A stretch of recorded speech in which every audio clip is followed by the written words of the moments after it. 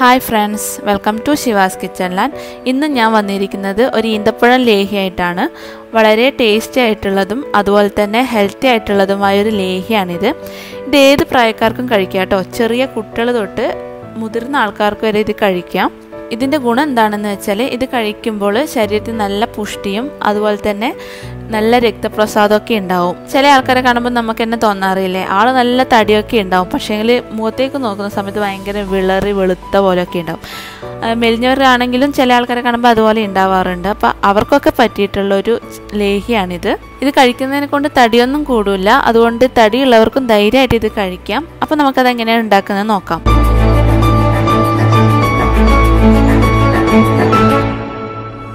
അതിനുവേണ്ടി ഞാനിവിടെ ഇരുന്നൂറ്റമ്പത് ഗ്രാം ഈന്തപ്പഴം എടുത്തിട്ടുണ്ട്.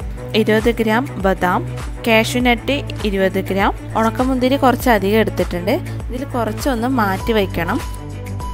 നെയ്യ് നാല് ഗ്രാമ്പു പിന്നെ രണ്ട് കപ്പ് പശുവിൻ പാൽ ആദ്യം തന്നെ ഈന്തപ്പഴവും ഈ ഉണക്കമുന്തിരിയും നന്നായിട്ടൊന്ന് കഴുകിയെടുക്കാം. കഴുകിയതിന് ശേഷം ഈന്തപ്പഴത്തിന്റെ കുരുവൊക്കെ ഒന്ന് കളഞ്ഞെടുക്കാം. അതിനുശേഷം ഒരു കുക്കർ എടുത്തിട്ട് ഈ കുക്കറിലേക്ക് ഈന്തപ്പഴവും അതുപോലെ തന്നെ ബാക്കിയെല്ലാ ഇൻഗ്രീഡിയൻസും നെയ്യ് വേണ്ട നെയ്യ് ഒഴുകിയുള്ള ബാക്കി എല്ലാ ഇൻഗ്രീഡിയൻസും ഇട്ട് കൊടുത്തിട്ട് നന്നായിട്ടൊന്ന് വേവിച്ചെടുക്കണം. ഒരു ഒന്ന് രണ്ട് വിസിലടിച്ചാൽ മതി. ഇനി ഇതൊന്ന് തുറന്ന് നോക്കാം. ഈന്തപ്പഴമൊക്കെ ഇവിടെ വെന്ത് വന്നിട്ടുണ്ട്. ഇനി ഇത് ചൂടാറിയതിന് ശേഷം മിക്സിയിലിട്ട് നന്നായിട്ടൊന്ന് അരച്ചെടുക്കണം. ഞാനിവിടെ നല്ല പേസ്റ്റ് പോലെ അരച്ചെടുത്തിട്ടുണ്ട്. ഞാനിവിടെ ഓൾറെഡി പാൻ ചൂടാവാൻ വെച്ചിട്ടുണ്ടായിരുന്നു. പാൻ ചൂടായതിനു ശേഷം നമുക്കിതിലേക്ക് കുറച്ച് നെയ്യ് ഒഴിച്ചു കൊടുക്കാം. ഇതിലേക്ക് നേരത്തെ അരച്ചു വെച്ച ഈന്തപ്പഴം ഇല്ലേ അത് അത് ചേർക്കാം. ഇനി ഇത് ഇളക്കി കൊടുക്കാം. അടിക്കൊന്നും പിടിക്കാതെ നോക്കണം. കാരണം ഇതിൽ വെള്ളമൊന്നും ചേർക്കാത്തത് കൊണ്ട് പെട്ടെന്ന് അടിക്ക് പിടിക്കാൻ ചാൻസ് ഉണ്ട്. അതുകൊണ്ട് ഇടയ്ക്കിടയ്ക്ക് ഒന്ന് ഇളക്കി കൊടുക്കണം.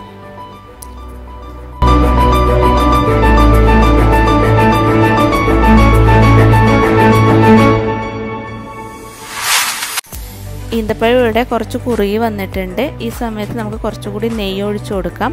ഇടയ്ക്കിടയ്ക്ക് കുറച്ച് കുറച്ചായിട്ട് നെയ്യ് ഒഴിച്ചു കൊടുക്കണം. എന്നിട്ട് വീണ്ടും നന്നായിട്ട് ഇളക്കി കൊടുക്കാം. കുറുകി വരുന്ന സമയത്ത് പെട്ടെന്ന് അടുക്കി പിടിക്കാൻ ചാൻസ് ഉണ്ട്. അതുകൊണ്ട് എല്ലാവരും പ്രത്യേകം ശ്രദ്ധിക്കണം. ഇത് ഇളക്കിക്കൊണ്ട് തന്നെ ഇരിക്കണം. ലേഹി ഇവിടെ ഏകദേശം ആവാറായിട്ടുണ്ട്. ഇതിലേക്ക് കുറച്ചുകൂടി നെയ്യ് ചേർക്കാം. ഇത് ഉരുളിയിലൊക്കെ ചെയ്യുകയാണെങ്കിൽ ഇളക്കാനൊക്കെ കുറച്ചും കൂടി എളുപ്പമായിരിക്കും. ഇല്ലാത്തവർ ഇതുപോലെ നോൺ സ്റ്റിക്കിൽ ചെയ്യാം.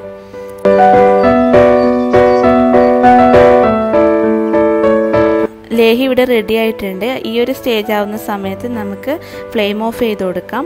കുറച്ചും കൂടി ആയിട്ടുണ്ടെങ്കിൽ പിന്നെ വല്ലാണ്ട് അങ്ങ് കട്ടിയായിപ്പോൾ പിന്നെ കഴിക്കാനൊക്കെ ഒരു ബുദ്ധിമുട്ടായിട്ട് തോന്നും.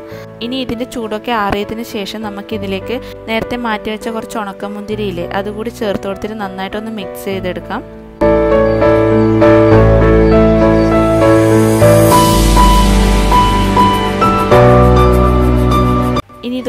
ടിന്നിലിട്ട് സൂക്ഷിച്ച് വയ്ക്കാം ഫ്രിഡ്ജിൽ വയ്ക്കണമെന്നൊന്നുമില്ല പുറത്ത് തന്നെ വെച്ചാൽ മതി. കുറച്ച് നാളൊക്കെ ഇത് നിൽക്കും. ഇതിൽ വെള്ളത്തിന്റെ അംശമൊക്കെ ഉണ്ടെങ്കിൽ പെട്ടെന്ന് കേടാവും. ഇത് ഓരോ സ്പൂൺ വീതം രാവിലെയും രാത്രിയും കുറച്ച് ദിവസം കഴിച്ചാൽ തന്നെ നിങ്ങൾക്ക് ഇതിന്റെ വ്യത്യാസം മനസ്സിലാവും. അതുപോലെ കുട്ടികൾക്ക് വിശപ്പുണ്ടാവാൻ വേണ്ടിയൊക്കെ ഈ ലേഹ്യം കൊടുക്കാം. അപ്പോൾ എല്ലാവരും ട്രൈ ചെയ്ത് നോക്കുക. അതുപോലെ തന്നെ ഈ വീഡിയോ ഇഷ്ടപ്പെട്ടിട്ടുണ്ടെങ്കിൽ ലൈക്ക് ചെയ്യുക. നിങ്ങളെ ഫ്രണ്ട്സിനൊക്കെ ഷെയർ ചെയ്ത് കൊടുക്കുക. എന്റെ ചാനൽ ആദ്യമായിട്ട് കാണുന്നവരാണെങ്കിൽ സബ്സ്ക്രൈബ് ചെയ്യുക. അതിനടുത്തായിട്ട് ഒരു ബെൽ ബട്ടൺ കൂടിയുണ്ട്. അതുകൂടി അമർത്തിയാൽ മാത്രമേ ഇനി ഞാനിടുന്ന വീഡിയോസ് നിങ്ങൾക്ക് നോട്ടിഫിക്കേഷനായിട്ട് കാണാൻ സാധിക്കുകയുള്ളൂ.